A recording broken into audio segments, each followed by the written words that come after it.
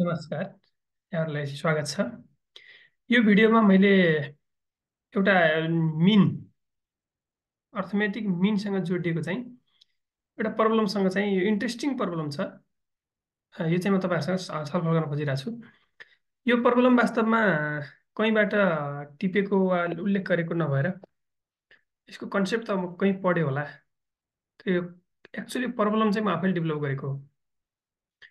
र यो प्रब्लम साथीहरू यो र यस्तै क्रिएटिभ क्वेसनहरू चाहिँ कम्पाइल गरेर मैले मूलत आधारभूत तह र माध्यमिक तहको पनि कन्टेन्टलाई कम्बाइन गरेर ट्वेन्टी सेट चाहिँ यो शिक्षक सेवा आयोगमा सोधिने मोडेलमा ट्वेन्टी सेट क्वेसन एन्सर चाहिँ तयार पारेको छु। त्यसमध्येको कुनै एउटा सेटको चाहिँ क्वेसन हो यो चाहिँ। र तपाईँहरूमध्ये कोही गणित विषयबाट शिक्षक सेवा आयोग माध्यमिक अथवा निम्न माध्यमिक तयारी गर्दै हुनुहुन्छ भने तपाईँहरूले मलाई सम्पर्क गरेर चाहिँ यो स्क्रिनमा देखाइएको नम्बरमा nine eight four seven four five six zero nine टूमा सम्पर्क गरेर रेकर्डेड भिडियो र यो ट्वेन्टी सेट जो इक्जाम स्टाइलको मोडलमा सोल्युसन सहित इक्जाममा जसरी क्वेसन आउँछ त्यसै गरी ट्वेन्टी सेट सोल्युसन चाहिँ तपाईँ लिन सक्नुहुन्छ र फुल कोर्स निमाविको पनि माविको पनि फुल कोर्स रेकर्डेड भिडियोहरू म उपलब्ध गराइरहेको छु। र निमाविको चाहिँ अलिक पछि चाहिँ म लाइभ क्लास पनि गर्छु। यो जानकारी गराएँ र अब फेरि म तपाईँहरूलाई त्यो समस्यातिर लैरहेको छु। र मैले मिनको प्रब्लम किन रोजेँ भने साथीहरू मिन भनेको यो निमावि र मावि दुइटै अथवा भनौँ आधारभूत र माध्यमिक दुवै चाहिँ करिकुलममा समेटिएको विषय छ। निमाविमा त्यो कन्टेन्ट पार्टमा छ भने पेडागोजीको पार्टमा छ तर जेसी टपिक दुइटैमा छ। र यो अर्थमेटिक मिनलाई मिन भनेर अर्थमेटिक मिनलाई जनाउनु खोजे हो। अर्थमेटिक मिनलाई चाहिँ जनरल्ली अर्थमेटिक मिनलाई चाहिँ जनरल्ली सजिलो टपिकको रूपमा लिन्छ सजिलो बुझिने खालको। तर हामीले सजिलो भनेको विषयभित्रबाट पनि कसरी क्रिएटिभ क्वेसनहरू सोध्न सकिन्छ? कहिलेकाहीँ हामी त्यहीँभित्र पनि कसरी अल्मलिन सक्छौँ? र त्यस्तो कुरालाई कसरी डिल गर्ने भन्ने क्लियरिफाई गर्ने उद्देश्यले मैले चाहिँ तपाईँहरूलाई यो कन्टेन्ट यो कन्टेन्ट सिलेक्ट गरेको हो। त्यो इक्जाममा साथीहरू म बार बार मेरो भिडियोहरूमा मेरो क्लासमा पनि म भनिराखेको हुन्छु। क्यालकुलेसन ठुलो ठुलो क्यालकुलेसन आउँदैन। किनभने हाम्रा परीक्षाहरूमा जनरली क्यालकुलेटरहरू अलाउड छैन।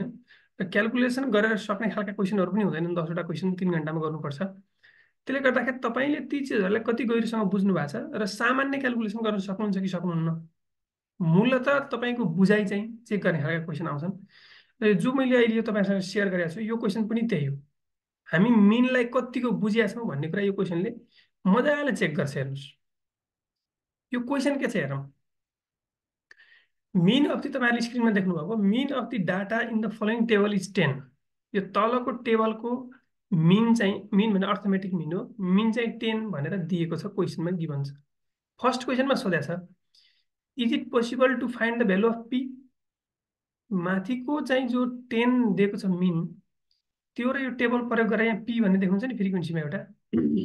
यो पीको भेल्यु निकाल्न सकिएला why or why not show your working. सकिन्छ भने किन सकिन्छ कसरी सकिन्छ? सकिँदैन भने किन सकिन्न कसरी सकिन्न? वर्क देखाउनुहोस् भन्ने चाहिँ यो क्वेसन भयो। अब यसमा अनि अर्को पनि छ पार्ट बी पनि छ। पहिला पार्ट एको कुरा गरौँ। सोल्युसन आउँछ कि आउँदैन भन्ने कुरा हेरौँ। है सोल्युसन गर्न सकिन्छ कि सकिन्न भन्ने कुरा चाहिँ पहिला हेरौँ। यहाँ दिएको मिन टेन छ याक्स र याफ दिएको छ भने हामीलाई थाहा छ मिन निकाल्न summation f x x bar equal to summation f x upon n गर्नुपर्छ। X bar is equal to summation f x upon n हुन्छ। भने अब चाहिँ माथिको टेबलबाट एफएक्स र एन निकालौँ। मैले यहाँ गरेको छु। याक्स दिएको छ six eight ten twelve fourteen f दिएको छ four seven p seven four f x x र एफ गुडन गर्ने हो कि? सिक्स फोर ट्वेन्टी फोर यसरी गरेर याफलाई जोड्दाखेरि ट्वेन्टी टू प्लस पी भएको छ। र एफएक्स समेसन एफएक्सहरूलाई जोड्दाखेरि चाहिँ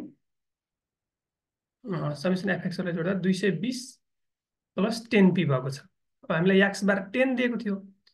अब फर्मुला युज गरौँ। याक्स बार इक्वल टु अघि माथि लेखेको फर्मुलामा रिपिट गरिरहेको छु summation f x upon n यो फर्मुला युज भने एक्स बार टेन है x bar ten summation f x भनेको two hundred twenty plus ten p n भनेको divide by twenty two plus p twenty two plus p अब यसलाई cross multiplication गर्नुभयो भने two hundred twenty plus ten p equal to two hundred twenty plus ten p अब p भएकोहरूलाई एकतिर ल्याउँ P नभएकोलाई अर्कोतिर राखौँ ten p minus ten p equal to two hundred twenty minus two hundred twenty यहाँबाट zero is equal to zero pico value आउला भनेको त जिरो इक्वल टु जिरो पो आयो। फेरि एकचोटि एमा जाउँ एले के एले भनेको थियो is it possible to find the value of p why or why not it is not possible to find the value of p है? भनेको यो डिस्टिङ्क्ट भ्यालु भन्ने अर्थमा हो। It is not possible to find the distinct value अथवा unique value of p because भनेर चाहिँ हामीले तलको सोल्युसन देखाउन सक्छौँ। अब यसपछि यहाँ बीमा एउटा प्रश्न छ। यो यो सिक्स मार्क्स थियो हामीले अहिलेसम्म गरेर क्यालकुलेसन क्वेसन नम्बर बीमा छ any value of p gives mean ten के पीको चाहिँ कुनै पनि पी भने त फ्रिक्वेन्सी हो नेगेटिभ हुने कुरो भएन। जिरोलाई अहिले इग्नोर गरौँ। कि पीको चाहिँ कुनै पनि भ्यालुले फेरि यो माथि जो मिन टेन भनेको छ नि त्यो टेन चाहिँ जुनसुकै भ्यालु पीको भ्यालु जति राख्यो भने आउला त। इज इट ट्रु यो सत्य हो। Verify with any positive integer value of p pico कुनै एउटा पोजिटिभ इन्टिजर लिएर यो हुन्छ भनेर भेरिफाई गर अथवा हुन्न भनेर भेरिफाई गर। Also explain why it is working यो यसले यो नियमले किन काम गरिरहेछ यसको पनि व्याख्या गर भनिरहेछ। अब मैले एकछिनलाई मानौँ। यो पीको ठाउँमा यो जो पी छ यसको ठाउँमा मैले ल फाइभ लिगेँ ल। बीको सोल्युसन गर्दाखेरि मैले यसको ठाउँमा फाइभ लिगेँ। फाइभ लिँदाखेरि यो टेन टेन इन्टु फाइभ भयो। यो फिफ्टी हुने भयो। यो फिफ्टी भयो होइन? अनि यो फिफ्टी भइसकेपछि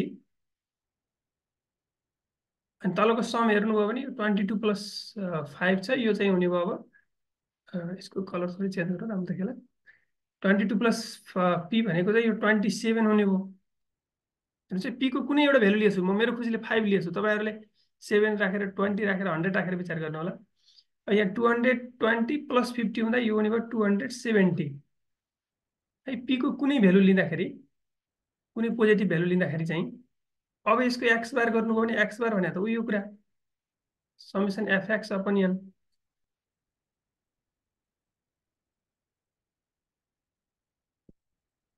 Summation sorry summation f x upon n. Summation f x भनेको दुई सय सत्तरी आयो। एन सत्ताइस। फेरि एक्स बार फेरि टेनै आइरहेछ। या साँच्चै अचम्मको रोचक घटना भएको छ हेर्नुहोस्। यो मैले फाइभ राखेर लिएँ साथीहरू। तपाईँहरूले यहाँ चाहिँ अर्को टेन वा ट्वेन्टी राखेर हेर्नुहोस्। त्यो गर्दा पनि टेनै आउँछ। तपाईँले जति राख्नुहोस् जति राखे पनि टेनै आउँछ। तर यो क्वेसनले जति पनि राख्नुहोस् भने थुप्रो राख्नुहोस् भने होइन verify with any positive integer value of p pico कुनै एउटा इन्टिजर भ्यालुको लागि कुरा भेरिफाई गरेर भनेको छ। लास्टमा एउटा ट्याग क्वेसन छ यहाँ।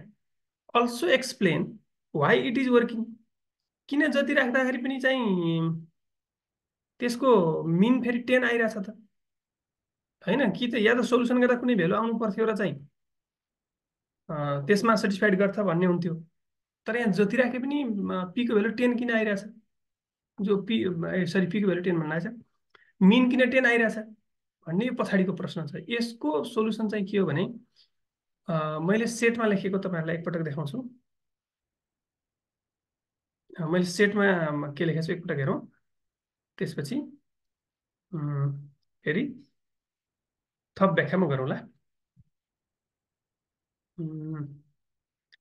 यो होला सेटमा ल यहाँ हेर्नुभयो मैले के लेखिरहेको छु भने मैले यहाँ चाहिँ पीको भेल्यु आई गेस ट्वेन्टी राखेर गरिरहेछु यहाँ पी नै लेख्यो भने ट्वेन्टी छ पीको भेल्यु पीको भेल्यु ट्वेन्टी राख्दाखेरि पनि मिन टेनै आएको छ र मेरो यहाँ एक्सप्लेनेसन के छ हेर्नु किन यस्तो भइरहेछ भने पीको जुनसुकै मान राखे पनि एक्स बार दस नै हुन्छ किनकि मिन भरेको बराबर डिस्ट्रिब्युसन हो मिनको डेफिनेसन गर्दा म भनिरहेको छु क्लासमा यो डाटा सिमेट्रिकल छ।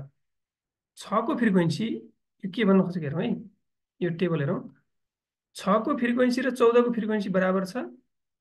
चौध भ्यालु हुने प्रत्येकले चार चाहिँ छ भ्यालु हुनेलाई दिने त्यस्तै बाह्र भ्यालु हुने प्रत्येकले दुई भ्यालु चाहिँ आठ भ्यालु हुनेलाई दिने। यसो गर्दा सबैसँग दस दस हुन्छ। अब दस भ्यालु हुने जति छन् सबैले आफैसँग राख्ने। यसकारण दसको फ्रिक्वेन्सी जति भयो भने मिन सेम रहन्छ। यो के भनेको? यताको टेबलबाट हेरौँ। यो बुझिन्छ। ल यहाँ हेर्नु। यो किन यो पीको भेल्यु जति राखे पनि मिन चाहिँ टेन आइरहेछ भने साथीहरू। मिन भनेको त बराबर गरी बाँड्ने भने हो नि त। एकछिनलाई मानौँ न यो टेबल चाहिँ कुनै कक्षाका विद्यार्थीहरू र उनीहरूसँग भएको चक्लेट सङ्ख्या हो भनेर मानौँ। छवटा चक्लेट हुने विद्यार्थी चारजना छन्। आठजना चक्लेट आठवटा चक्लेट हुने विद्यार्थीहरू सातजना छन्। फ्रिक्वेन्सी भनेको जना हो। त्यसै दसलाई अहिले छोड्नुहोस्। बाह्रवटा चक्लेट हुनेहरू पनि सातजना छन् र चौधवटा चक्लेट हुने चारजना छन्। यहाँ हेर्नुहोस् त यसको यसको फ्रिक्वेन्सी सेम छ। यो र यो सेम छ। जोसँग चौधवटा चक्लेट छ नि चौधवटा चक्लेट हुने चारजनाले चारवटा चक्लेट चाहिँ छ हुनेलाई दियो भने सबैसँग कति कतिवटा चक्लेट भयो? सबैसँग दस दसवटा चक्लेट भयो। त्यस्तै बाह्रवटा चक्लेट हुने सातजनाले चाहिँ आठवटा चक्लेट हुने सातजनालाई दुई दुईवटा चक्लेट दियो भने बाह्रवटा चक्लेट हुनेहरूसँग दस दसवटा भयो अब आठवटा हुनेसँग फेरि दस दसवटा भयो। बराबर वितरण हो नि त मिन भने त। अब दसवटा चक्लेट हुने विद्यार्थीहरू जति छन् पाँचजना छन् भने ती पाँचजनाले आफूसँग चक्लेट आफूसँग राखे भयो। किनकि अब सबैसँग बराबर चाहिँ दलस हुनेवाला छ वितरण। दसवटा चक्लेट भएका विद्यार्थीहरू पन्ध्रजना छन् भने पनि ती पन्ध्रजनाले आफैसँग राखे भयो। भनेको यहाँ दसवटा चक्लेट हुने जतिजना भए पनि पच्चिस भए पनि जति भए पनि यिनीहरूले चक्लेट कसैसँग बाँड्न परेन। त्यही भएर यो फ्रिक्वेन्सी जति भए पनि त्यसको मिन चाहिँ दस नै आइरहेको छ। यो यसको एक्सप्लेनेसन हो साथीहरू। यो मैले अघि तपाईँहरूलाई मैले सल्युसन सेटमा कसरी लेखेको छु त्यो पनि देखाएँ र मैले एक्सप्लेनेसन पनि गरेँ। र फेरि पनि तपाईँ चाहिँ निमाविको माविको चाहिँ शिक्षक सेवा म्याथको तयारी गर्दै हुनुहुन्छ भने यो मेरो सम्पर्क नम्बर छ। सम्पर्क गर्नु होला मसँग रेकर्डेड भिडियोहरू छन्। रेकर्डेड भिडियो भनेको साथीहरू निमाविको हकमा क्लास चलाएको रेकर्डेड भिडियोहरू छन् अनि प्लस म आफैले गरेको पनि छ। माविमा क्लास चलाएको रेकर्डेड भिडियो होइन। यसै गरी मैले प्रत्येक टपिक आफ्नो हिसाबले एक्सप्लेन गरेको चिजहरू छ। त्यो क्लासमा के हुन्छ भने कहिले काहीँ क्वेसन एन्सर हुँदै गर्दा त्यो लामो भिडियो भन्छ तर एक्सप्लेनेसन भिडियो त्यस्तो छैन। एकदम टु दि पोइन्ट र त्यो चाहिँ अलिकति कम्पाइल फर्ममा छ।